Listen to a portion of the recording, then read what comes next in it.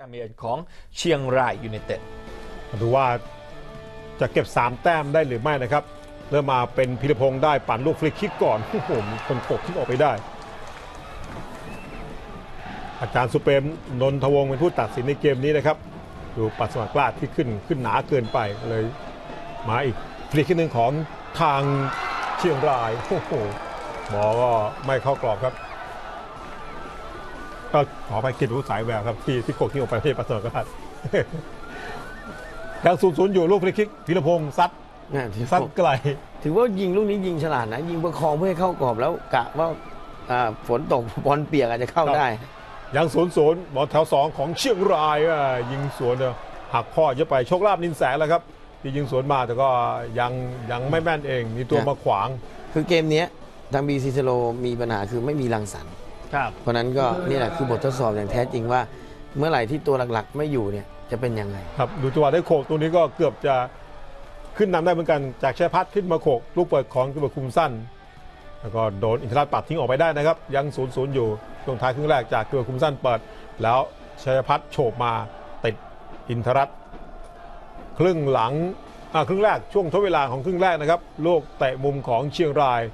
บอลโดนโขกโดยเวมาสะแต่แถว 2 ยิงสวนมาของทางเชียงรายคุกคิกมาทางเรนโดอาซุนซาแล้วซ้ำสุดท้ายเป็นเฟรนโดเฟเรล่าครับอาซุนซายิงไปติดตัวคุมเส้นเป็นจอร์จี้เวลคัมที่คุมออกมาแต่ว่าบอลมาเข้าทางของเฟรนโดเฟเรล่ายิงสวนเข้าไปนาที 45 บวก2เนี่ยครับอาซุนซาติดจอร์จี้เวลคัมแล้วมันไม่เด็ดขาดมาเข้าทางเฟรนโดก็เลย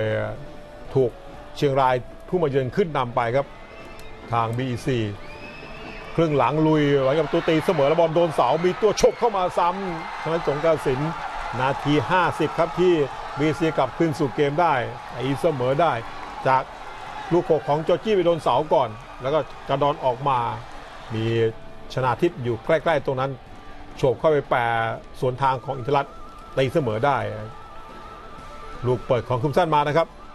ประตูตีเสมอของทาง BEC ทีนี้ขอแซงครับดูคุมสั้นปั่นลูกฟรีคิกโค้งมาติดอินทรัตทุกออกมา มีแถว 2 ของ BC บอมมาใหม่ บอมมาก็โดนดักออกมาได้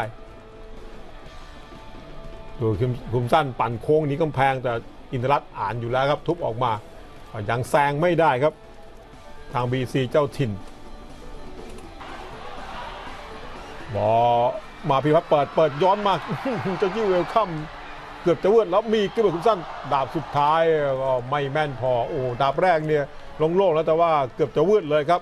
บอกกระดอมาเข้าทางของคุมสั้นมาลูกฟรีคิก โดยกิบเบิร์คุมสั้นปั่นโค้งโอ้โหจะตรงนี้อิทธิรัตน์สุดยอดครับบิดบัดออกไปได้ก่อนที่บอลจะเสียบคานไม่มีรังสรรค์แต่ก็ยังมีคนนี้ครับที่ปั่นลูกฟรีคิกได้อันตราย ทีนี้เชียงรายมาบ้างในครึ่งหลังแทบจะไม่ได้บุก